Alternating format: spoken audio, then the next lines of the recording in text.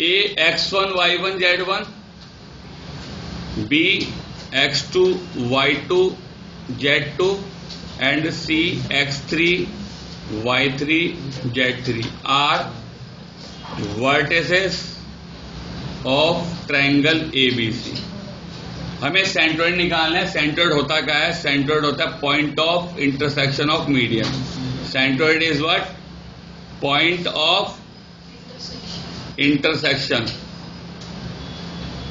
of medium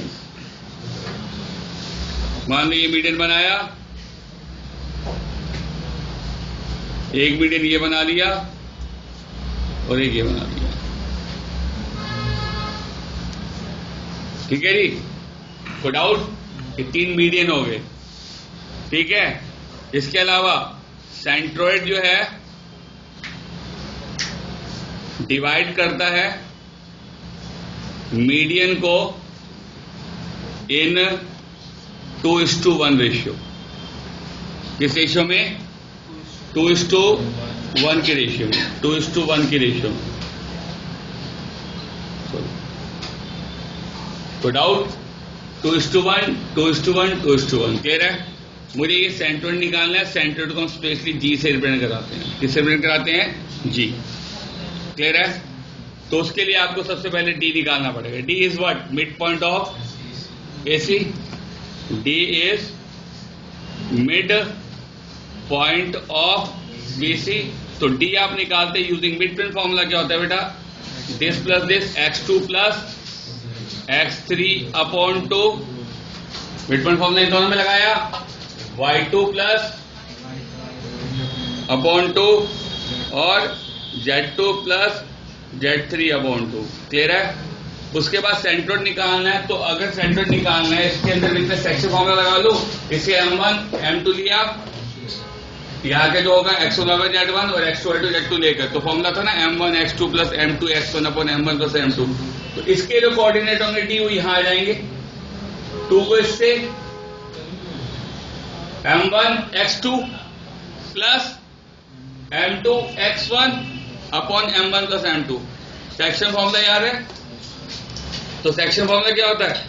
D निकाल sorry central formula लगाएँगे आप। M one x two plus m two x one upon m one plus m two m one y two plus m two y one upon m one plus m two और ऐसे लगाया थी m one z two plus m two z one upon m one plus m two ये section formula है जी। ठीक है? इसे मैंने एम वन लिया, इसे एम टू लिया। क्लियर है? जो डी के कोऑर्डिनेट होंगे, जो कि यहाँ लिखे पड़े हैं मैंने। डी के कोड यहाँ लिखूँगा अब वहाँ जगह नहीं तो मैं यहाँ लिखा सकता है ठीक है? तो इसे क्या लेंगे आप? X one y one z one by formula और इसको ले लेंगे आप एक्स टू वाई टू और जेड टू क्या होता है formula m one x two plus ये फॉर्मूला लगाया एम वन ये पूरा एक्स टू हो गया। एम वन एक्स अच्छा इसे एक्स वन लिया तो नहीं, ये एक्स टू लेंगे एक्स टू ये एक्स टू वाई टू और जेड टू ये एक्स वन वाई वन और जेड वन क्योंकि ये एम वन है तो इसके सामने वाला एक्स टू होगा।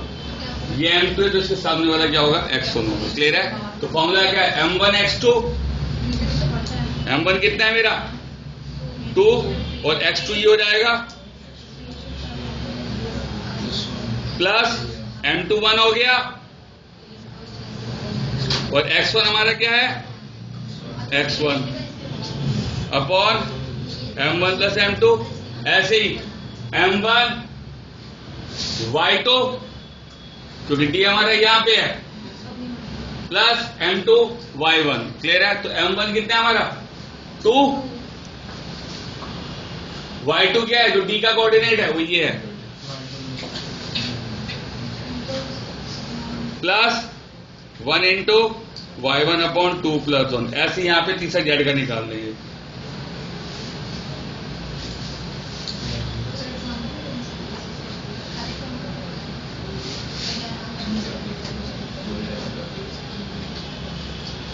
इसको सोल्व करेंगे। टू से टू कट गया। टू से टू कट गया, यहाँ पे टू से टू कट गया। कितना आएगा बेटा? X one plus x two plus x three upon three क्या आएगा? X one plus x two plus x three upon three तो जी आएगा आपका कितना? X one plus x two plus x three upon three comma y one plus y two plus y three upon three और z one plus z two plus z three upon three ये हमारा सेंट्रोड होता है। सेंट्रोड का formula आपने tenth में ही पढ़ा था। याद होगा? इतना पढ़ा था आपने। अब सिर्फ़ जेड कोऑर्डिनेट हो रहा है। क्लियर है? एक और टॉपिक है जी, इसके अंदर इन सेंटर क्या है? इन सेंटर ये एनसीआरटी में नहीं है, होगा तो एग्जाम्पलर में मिलेगा आपको। इन सेंटर निकालने के लिए अगर आपको कहता है तो। ट्रायंगल का इन सेंटर निकालना है। ये पॉइंट है G x one y one z one x two y two z two x three y three z three कोई डाउट याद है इन सेंटर निकालने के लिए मुझे तीनों लेंथ पता होनी चाहिए। मेरे पास तीनों कोऑर्डिनेट है। बी और सी में डिस्टेंस फॉर्मूला लगाएँगे। डिस्टेंस फॉर्मूला बताइए जी अंडर रूट में दिस माइनस इसका हो करके। जो ये डिस्टेंस आएगी ए के सामने वाली डिस्टेंस जो होती है बीसी दैट इज़ ए से रिप्रेजेंट कराते हैं। बी के सामने वाली साइड को हम किससे रिप्रेजेंट कराएँगे? बी से, और सी के सामने वाली साइड को सी से। अगर आपको इन सेंटर निकालना है इन सेंटर आई से रिप्रेजेंट कराते हैं तो इन सेंटर अगर आपको निकालना है तो उसके लिए मुझे ए बी और सी निकालना पड़ेगा।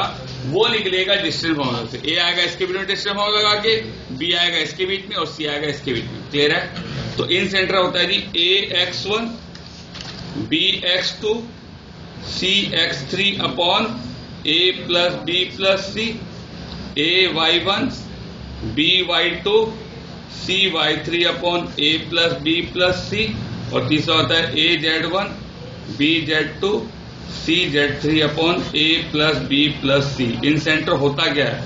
ये ट्राइंगल है।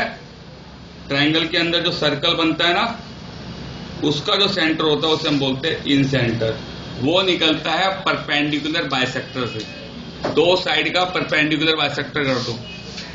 क्या कर दो? इसका बायसेक्टर करा। दूसरे का करा, जहाँ दोनों इंटरसेक्ट करेंगे, वो होता है इन सेंटर। ठीक है? कभी कंस्ट्रक्शन में होया करता था, अभी नहीं है। फ़िलहाल आपका अगर कहता है इन सेंटर निकालना है तो आपका ये मेथड है इन सेंटर निकालने का। उसके लिए आपको इसके बीच में डिस्टेंस फॉर्मूला लगा के ये निकालोगे, ये निकाला ये निकाला, इसे ए बी सी से प्रिंट कराया और apply this formula is that clear triangle का नाम एबीसी की जगह अगर पी क्यू आर है तो पी के सामने वाले को ए लेंगे क्यू के सामने वाले को बी लेंगे और सी के सामने आर के सामने वाले को सी ले लेंगे। गॉट इट तो उससे क्या निकल जाएगा? इंसेंट क्लियर है? इसे नोट करिए। मिसलेनियस आप खुद कर लेना। सेकंड थर्ड फोर्थ है। बाकी आपका होमवर्क में क्या है कि पूरी मिसलेनियस करनी है? बाकी तो क्वेश्चन मैं आपको बताई चुका हूँ। मंडे को कॉपी चेक करूँगा आप लोग